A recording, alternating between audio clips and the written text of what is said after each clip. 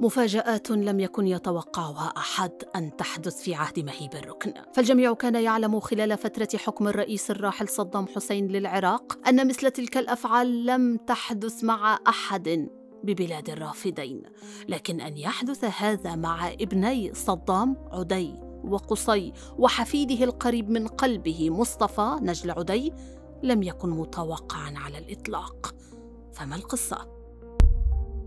استضافة أبناء الحاكم لم تكن أمرا سهلا على أحد من أفراد الشعب خاصة في بلاد الرافدين في هذا التوقيت الحرج.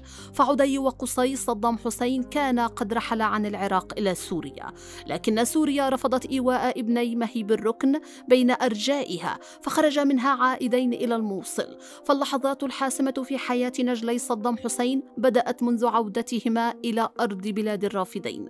رجل كان الرئيس العراقي الراحل يغدق عليه من الأموال والهدايا وكل ما يحتاجه شخص حتى يعيش حياة مترفة. لكن المفاجأة أنه بدأ ينحو تجاه التعاون مع كل من كان يبغضهم صدام إلى أن فارق الحياة. أموال أمريكية كانت بداية قصة رحيل قصي وعدي صدام حسين وحفيد مهيب الركن مصطفى، فها هو الرجل الذي كان يثق به صدام ثقة عمياء، بدأ ينظر إلى الأوراق الخضراء من الأمريكيين، نجلة وحفيد مهيب الركن. حينما عاد إلى الموصل حلوا ببيت رجل كان يدين بالولاء لصدام.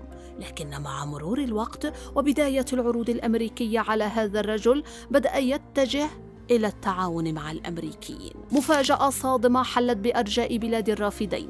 فها هو ذاك الرجل يبدأ الوشاية على مكان نجلي وحفيد صدام حسين اللذين كان يأويهم ببيته في الموصل. مكافأة أمريكية قدرت بحوالي 25 مليون دولار أمريكي كانت مقابل رأس الثلاثة الذين كانت تبحث عنهم القوات الأمريكية في جنبات العراق. فها هي تطرح هذه المكافأة المغرية لتتسلم تلك الرؤوس. مفاجأة صادمة حلت بالرئيس العراقي الراحل صدام حسين حينما كان يحضر عشاء عند أحد أصدقائه فها هو صديقه عابث الوجه. ليس كما عاهده مهيب الركن. ما حل بك؟ كانت العبارة التي رددها صدام على مسامع صديقه فها هو يرد عليه بصوت يجهش بالبكاء. عدي وقصي ومصطفى. رحلوا عن الحياة. رد لم يتوقعه من حضروا هذه الجلسة. فمحامي صدام الدكتور خليل الدليمي ظن أن مهيب الركن سيكون له رد فعل غير ما نطق به. ليصدم صدام الح... ليصدم صدام الحضور بقوله عافية. لكن المفاجأة الكبرى كانت فيما تلفظ به صدام حينما كان في إحدى جلسات محاكمته قبل تنفيذ الحكم عليه.